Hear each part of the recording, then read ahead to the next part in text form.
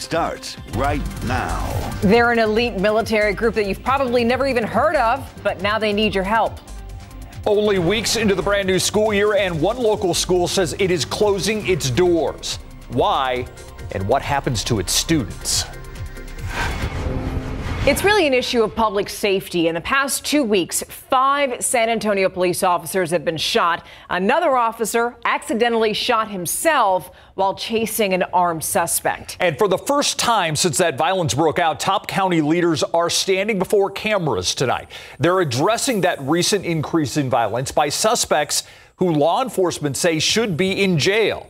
Bexar County Judge Peter Sakai says he's putting a city county commission together to come up with a solution. Here's the question, though. What about the district attorney's office? The night team's Patty Santos breaks down exactly how much money you, the taxpayer, give the DA's office to put criminals behind bars. I want y'all to understand this is a tough job, and I've got a tough job to do, and I'm going to do it. I'm willing to come to the table and and uh, and help come up with a solution. Bexar County Judge Peter Sakai and District Attorney Joe Gonzalez says they don't know what it's going to take to keep violent criminals in jail. It is the legislature that is the appropriate forum for a discussion on changing the bail bond system. But taxpayers are set to give the DA's office more than $52 million in the county's fiscal year 2024 budget to keep the community safe. It would add 11 positions to the more than 500 staff. About 200 of those positions are criminal prosecutors. According to a KSAT Investigates report, the DA's office has faced a large number of staff resignations over the past year. Not just Gonzalez told county commissioners in this April meeting that workers were leaving because of low pay. Our prosecutors are overworked, they are overstressed, and they are underpaid. The county dished out pay increases at that time. As of today, Gonzalez says his office is down 20 prosecutors. Judge Sakai wonders if recent policy changes made to reduce the jail population are to blame for violent crimes against police. We've gone to some shifts of policy and perhaps has affected this issue today. As of September 1st, Gonzalez did away with the declination policy, which turned away minor drug possession cases. The policy was in effect for four years. A new state law forces DAs to prosecute those cases. And last year, the district attorney's office received funding to hire 16 new staff to deal with the COVID backlog. Now, commissioners are set to vote on the 2024 budget next week. Soon after that, they say city and county leaders will meet up to come up with some sort of policy change to deal with this crime problem. We'll send it back to you. Thank you, Patty. On Monday, Police Chief William McManus and Bexar County District Attorney Joe Gonzalez will be at a District 4 Public Safety Town Hall. That town hall scheduled to start at 6 at St. Rose of Lima Catholic Church. It's on Marbach Road. We plan to live stream it on all of our KSAT streaming platforms. The next step in the 1604 expansion project happening right now. You're looking live at 1604 in Northwest Military. That highway is scheduled to be closed for bridge work until 5 a.m. So this is specifically between the Northwest military entrance and the exit ramps in both directions. There are several other closures around the city this weekend, and we have a full list with detour information on our website. You know where to go, ksat.com. Yeah, and speaking of construction, if you've driven down Broadway just north of downtown lately, you may have noticed the mess. Don't know how you could have missed it. Two sections of Broadway are closed off for the rest of the year because of ongoing construction. And small business owners, they're starting to feel it. I, as a business owner, I'm really looking at um, having anywhere from 80 to 90% of my business completely taken away because I don't have foot traffic.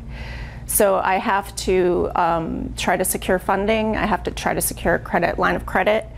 Um, anything that I can do to kind of uh, put my business on pause potentially um, during that time. I wish uh, the city will take more care, better care of us. Since we cannot pick up the business as, as we're supposed to, we can't employ people.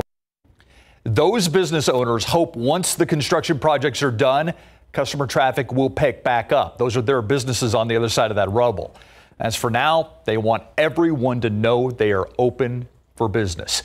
You can read more about the Broadway Bond Project on our website right now. Look for this article on ksat.com. Just two, just weeks into the new school year, one San Antonio school says that it's closing its doors. Students and staff at Jubilee Academy's Highland Park campus are going to move to other schools this month. The night team's John Paul Barajas explains the charter school district's decision. You know, go to starting school and then shutting it down, giving us two weeks. That's not good. Parents at Jubilee Highland Park say they're frustrated. Their little one started class at the East Drexel Avenue campus on August 14th. Come August 31st, Jubilee Academies notified parents that Highland Park would close and students would start at another campus by September 18th. Everybody got disappointed. It was like a last minute thing. It was very emotional. We couldn't believe it. To hear that this school was closing was very heart wrenching. Associate Director of School Development Abel De Leon says they currently have 210 students, but needed 300 to keep the school operational. Let them finish the school year. We asked De Leon about making the changes during the school year. He said, quote, if we didn't rip the band-aid off now, there would be more pain later. He adds finishing the school year would have left Jubilee with a deficit of $1.5 million. They could have told us a lot sooner. De Leon tells us parents will be able to transfer their students to Jubilee Highland Hills or Jubilee San Antonio. The charter school district will offer bus transportation with drop off and pickup at the Highland Park campus through the end of the school year. But parents and students still have concerns. Some of them are saying well, we're not going to meet each other no more. So they said, well, I'm not going to have my teacher. And said, no, you're going to have a new teacher. A smaller group of kids in each class. The attention from the from the teachers. De Leon says Jubilee Academies is doing its best to keep all teachers with their current students. Parents we spoke to say they're still skeptical. They didn't ask for input. They didn't ask us how we felt. John Paul Barajas, KSAT 12 News. We, the jury, find the defendant, Guyan Isaac Pettis, not guilty of murder as charged in the indictment. You heard it there. Not guilty. Guyan Pettis admitted on a 911 call to shooting his mother's boyfriend in 2022, but he says it was to protect a family member. In August of 2022, Pettis was accused of shooting and killing 39 year old Luis Rosales. Rosales accused of sexually assaulting one of Pettis' close relatives. At the end of Pettis' trial, he and his family grateful a Bexar County jury cleared him of murder. We feel that justice has been served on Guyan. You know, he took the actions he took to defend the ones he loved. All he could tell our cameras afterwards was thank you, thank you, thank you. Prosecutors, though, argued this trial was not about the accusations against Rosales. They say it was about Pettis' actions. You can read more about that trial right now on ksat.com. This is really history in the making. Ken Paxton's trial continues, just wrapped up its fourth day. Paxton's defense attorneys spent this morning portraying the whistleblowers who accused the suspended attorney general of wrongdoing as disgruntled employees. Now, on the other side, the former director of law enforcement at the attorney general's office talked about the accusations over Paxton trying to help a political donor. You can read the full breakdown on day four of the trial right now on ksat.com. A call out to Congress tonight from San Antonio business groups. They want something. They want a direct flight from here to Washington, D.C. through the Ronald Reagan International Airport. Now, members of the Capital Access Alliance San Antonio Coalition spoke today at San Antonio International Airport, and they say the city needs a direct flight to the nation's capital. And they point to our huge military presence and also growing business scene. Thing is, federal restrictions limit those direct flights unless Congress steps in. A local school district superintendent calling it a career, Dr. Clark Ely, announcing his plans to retire after four years of service. The Schertz Cibolo Universal City ISD. His last day with SCUC will be on January 24th. Dr. Ely spent a total of 32 years in education. You know about the Navy SEALs, the Army Rangers, and the Green Beret, but Green Berets, excuse me. But how about combat controllers? Yeah, they defend the U.S. in the air, on the ground, in the waters. And a group that wants to help them when they return home has a question for you. Stick around for that.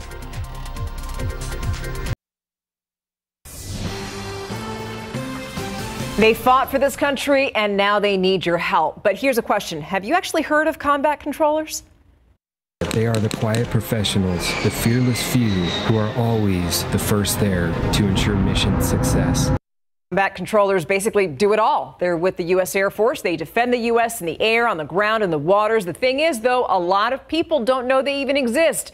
And that's a problem because when CCTs return home after being deployed, many of them struggle to find their way, like a lot of other vets. And that's exactly why Eric Homan, himself a former combat controller, created the First There Foundation. The nonprofit connects CCTs with job and mental health resources and also helps their families. We send out baby blankets when guys have new babies, uh, Gold Star families. We check on them. Um, we paid for our Gold Star families, uh, you know, garbage disposal. There's not a lot of us. I mean, 350 of us per year, and then you know we're all over the all over the country. So it's we don't have big pockets of it, you know. And relating to other branches, even though we're veterans, it's not the same. Now, tomorrow, the First There Foundation is hosting uh, a fundraising gala. I myself am going to be emceeing the event. I'm super honored to be a part of that. Now, if you'd like to donate to the First There Foundation, we have a link for you on our website, ksat.com, and you can also watch the raw interview with Eric Homan. You'll learn lots of cool stuff about the combat just, controllers. Just that video. Yes. Amazing stuff. Yes. All right. Let's go outside with live cam right now. And, you know, 93 degrees. I am hopeful, Adam, that at this time next week maybe this will be our high. There's yeah, there, that's what's the forecast. It's in the forecast right Okay, now. That's good. what we're expecting. It's uh, we just have to have everything follow through properly. But I do think we'll dip below 100 as soon as next week's. And rain chances, more importantly, they're back.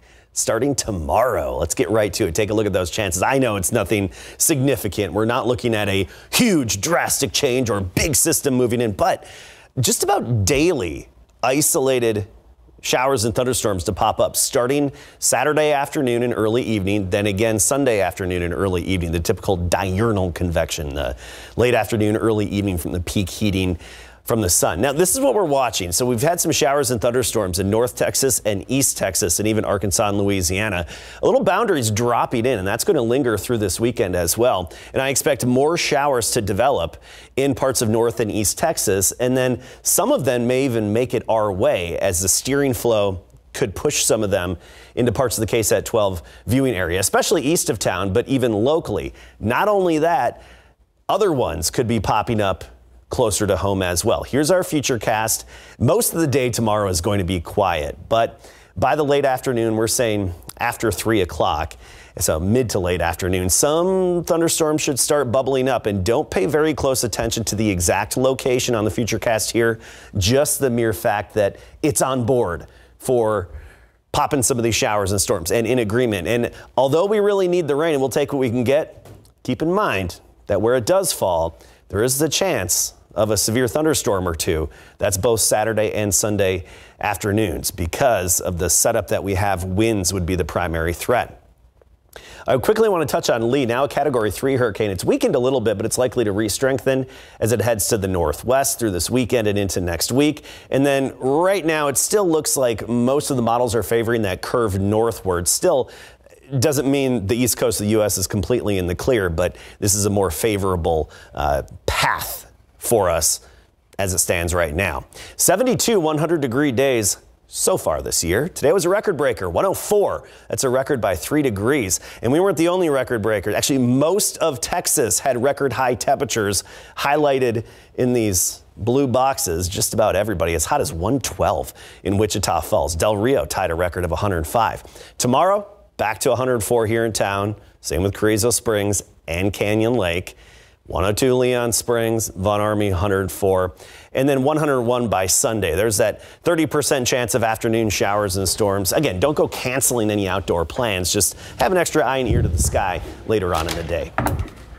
All right, perfect. Thank you so much for that. I'm just looking at that forecast and thinking, oh boy, we're trying to get ready for next week. I am excited. Yeah, All right. love that forecast. All right. Yeah. Whew. He just came running in like a running back in the Jefferson Sam Houston game. Oh, I'll tell you what. So it was our big game, big game coverage. It lived up to the hype, especially in the fourth quarter when the fireworks really happened. We have Jefferson, Sam Houston, and highlights of at least, I think, 15 other games coming up.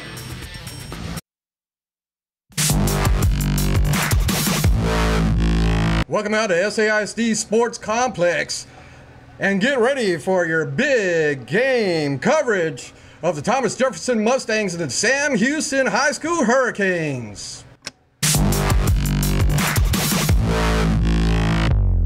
Thank you, John Villanueva. It's the big game in our big game coverage tonight. The Sam Houston Hurricanes versus the Thomas Jefferson Mustangs in a district matchup, Mary. Here's a little pregame flavor from the SAISD Sports Complex near the goal line. The Mustangs in the background warming up for the Canes. All right, let's get to those highlights now. Here is Jefferson charging the turf, followed by Sam Houston ahead of this District 14 5A D2 showdown. First quarter, Mustangs ball. The handoff goes to Daniel Ariza for a four yard touchdown, and Jefferson leads seven to nothing, and they were up seven to three at halftime. Late third quarter now, Hurricanes with the ball and airing it out. Amir Calhoun throws a perfect pass to Jeremiah Espatia, 10 yards, and the Canes take the lead 10 to seven. What was beautiful, wasn't it? Fourth quarter, Jefferson leads 13 to 10, and they're kicking off just after scoring. The Canes, Jeremiah Espatia fields the ball deep, and if we're showing this to you, then you know he's about to break off something special. Number four is coming right at us. Down the sideline he goes. He pulls up and cuts inside to avoid a defender. 98 yard touchdown return, and that turns out to be the game Ooh. winner. Oh man, what a play! Sam Houston takes it 17 to 13. I thought, really, I thought I was close to the sideline, so I tried to toe tap. I didn't really need a toe tap for real, but I caught it. Just really mad. That run when you saw that gap, what, what, was going through your mind, man? I seen it. It was just straight grass. I just took it. Wide open touchdown.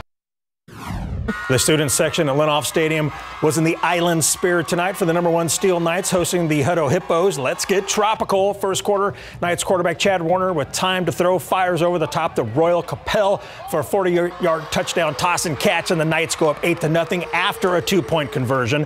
Later in the quarter, Andrew Buck runs it from a yard out. The Knights go up 15 to nothing, and the score from Lehnhoff is Steele is currently leading 57-27 in the fourth quarter. Let's go to Rutledge Stadium for Pflugerville Weiss and number 11 Judson tonight. Third quarter tied at seven. Rockets ball. Quarterback Elijah Favela looking around. He has nowhere to pass. He ends up throwing a backward pass. The Wolves to Haley Bradfield picks it up. He runs it back for a touchdown, and Weiss leads 14 to 7. And your score from Rutledge. Weiss leads Judson 14 to 10 in the fourth quarter. Here's the Clark Cougars taking the field at Comalander Stadium, where they played the second-ranked Reagan Rattlers in 12's top 12. First quarter, Reagan kicker Jonathan Leos draws a 21-yard field goal, and the Rattlers lead 3-0. Late second quarter, now the Cougars answer back. Philip Metzger dancing in the pocket throws to wide open Ethan Maldonado, 25-yard touchdown and the Clark Cougars lead the Reagan Rattlers 7 3 at halftime. And the score from Comalander, Reagan comes back to win 38 14.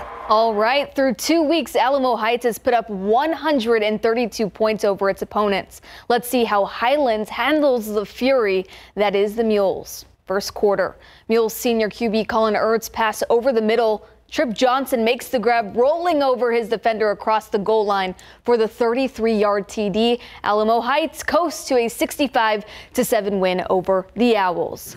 Burbank is undefeated to start the season. Brackenridge is winless. Will the trend continue? Bulldogs Kevin Hernandez spins out of a tackle. He finds the seam on the outside making it look easy on the ah. QB keeper for the 20 yard touchdown. Burbank up 34 to 0. Roman Garcia in at QB now. He throws a bullet to Leonard Lozano for a 40 yard score. Burbank remains undefeated with a 56 to 14 victory. Class 4A D1 runner-up Boerne and Antonian clash at Ferreira Field. Third quarter, Hudson Hendricks extends the Greyhounds lead by a touchdown.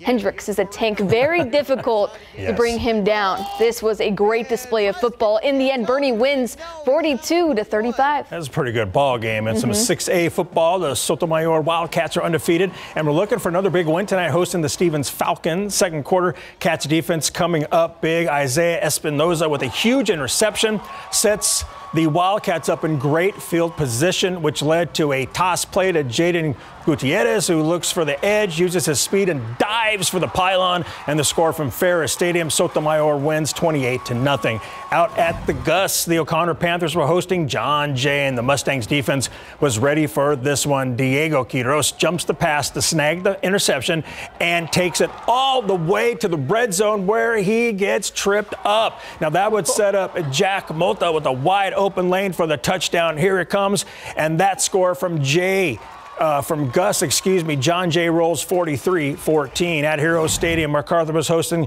Veterans Memorial Patriots. Both teams 1 1 coming into this one. The Patriots were having success early with the running attack. Tavion Warren slices and dices up the middle until he's finally brought down at the eight yard line. Later in the drive, they give it to Warren again, and he stiff arms a defender on his way in for a touchdown. And the score from Heroes is 46 23, Veterans Memorial. Time to shake The Pleasanton Eagles at the Jourdanton Indians tonight. First quarter, Eagles QB Cade Segura hits number four, Aiden Rich on the slant, and Rich picks up 68 yards into Jourdanton territory inside the 10 yard line. That would eventually lead to a three yard touchdown run, and Pleasanton led 7 to nothing. Later in the first, Indians tie up the game. Caden Schulte from three yards out. This game is tied at 7, and the score from Jourdanton, the Indians take it 35 21.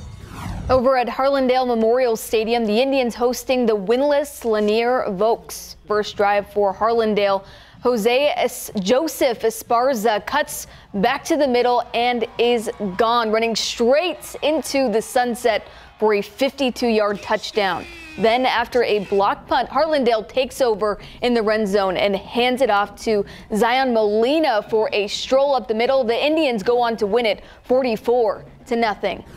Rattler Stadium, the site for a matchup between Wagner and San Marcos. What a play. The reverse goes to Tony Diaz. The senior turns on the Jets and takes it all the way. It'll be a photo finish. San Marcos up seven. Wagner comes right back with a 69 yard touchdown catch. Edgar Bell Jr. The final from this one Wagner is up 55-17 in the fourth. Mary, that was one heck of a first block. I'm still catching my breath. Still to come, the BGC road trip to Davenport and New Braunfels High School. And before we go, let's take a listen to the Cole High School Cougar Band.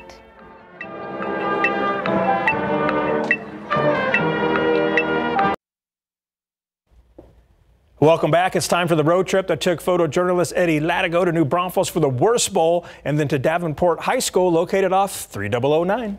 We begin with the Davenport and Pieper matchup. Both teams eyeing bounce back games after respective week two losses.